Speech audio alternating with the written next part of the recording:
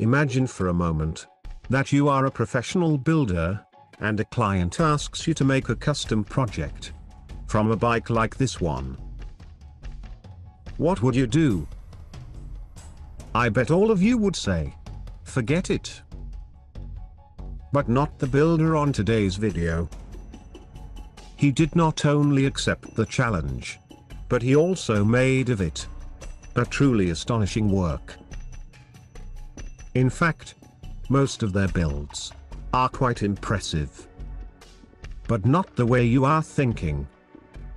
Their projects are impressive because they are based on small displacement motorcycles. Almost like miraculous transformations. Which may be hard to believe. And this is a feat that really deserves to be seen. Welcome to Racer TV. As you may have figured out by now, this is not a video about only one motorcycle. Because a builder who has the talent to create such a transformation cannot just be a lucky guy who had one single moment of inspiration. Some of you probably already know whom I am referring to. This is another work from Shiegfred Phyle Dichos and his team from La Garahe Customs, located in the Philippines. I am sure you still remember them from these astonishing projects I presented last year. If you don't, you can see them by clicking on this link.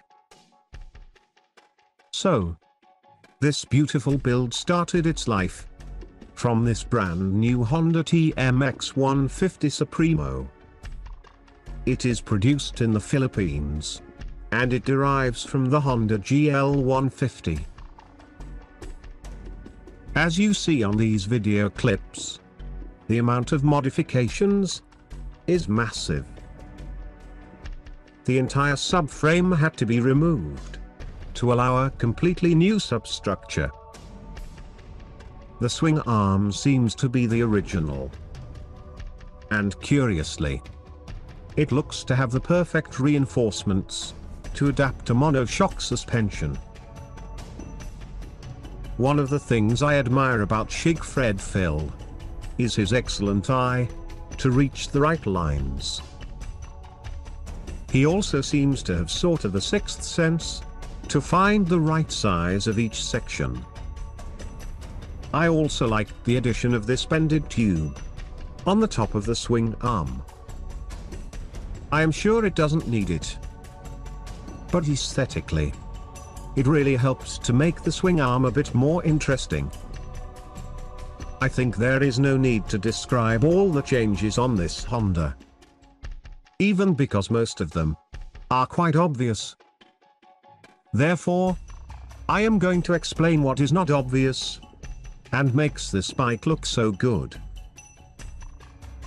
This fuel tank can be easily purchased on the internet. And it also fits on the Honda CG 125. I am sure most of you will think that it looks too small for this Honda. Especially when we see this transition.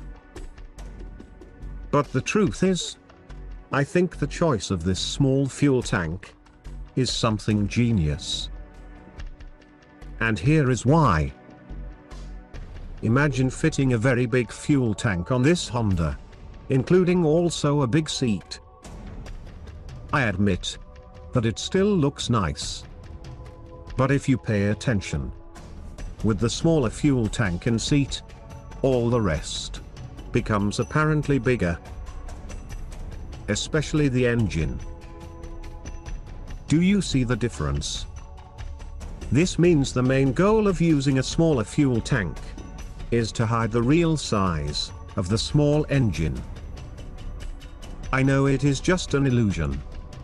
But it works brilliantly. Although the swing arm looks like it was extended on this transition. I must say it is just an illusion. Created by the camera's lens distortion. Shiegfred Phyle really did a very good job with this one. But let's see another beautiful machine. But with a different approach. This has a more retro and vintage vibe, including some modern details. It is based on a Honda TMX 125. For those who aren't aware, it is basically identical to the very well-known Honda CG 125. The fuel tank has the same lines of a very iconic item. It is known as Mojave fuel tank. You can easily find it for sale on the internet. There are several different versions, depending on the dimensions. But this one has the perfect size for this Honda. Just like on the previous project. This fuel tank is also a great choice. To hide the real size of this motorcycle. And the rear section of the seat combines perfectly with it. No wonder that Shiegfred Phyle spent so many hours to make it from scratch. Everything became extremely well proportioned, which is not easy for a TMX 125 because the original swing arm is too short. That is why it was extended, just as the shock top fixing point. Overall, an excellent example of what can be done with a small motorcycle. But this project is not as impressive as the one you are about to see.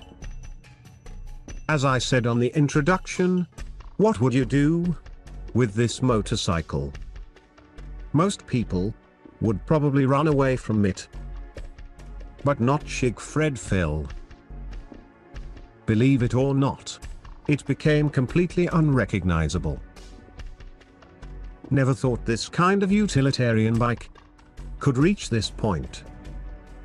Especially when we see the unorthodox structure of the frame. This bike is a Suzuki Raider R150. But it may have a different model name, depending of the country where it is sold. As you see on this photo, Shiegfred had to rebuild most of the frame. Which is not a surprise. But the look of this new substructure ended up being quite interesting. I really like this kind of Ducati Monsters frame style. To be honest, I like everything. Shiegfred Phyle's talent went very far on this one. But here is a pertinent question. Why did he spend so much effort on transforming such a difficult motorcycle? If you search on YouTube, you will find that in some countries, this Suzuki model is extremely popular among the youngsters. And why? Well, let's just say, that with some upgrades on the engine, the bike can reach unbelievable speeds. In a way, this is like history repeating itself. Because it is similar to the Cafe Racer's birth, around 60 years ago. So, what more can I say about Shiegfred's work? I believe he is a true master. On finding the right proportions on any small motorcycle. Probably one of the best custom builders on this segment. And something tells me, we will see more of his work in the future. Thank you for watching Racer TV. And as always, I hope to see you on the next video.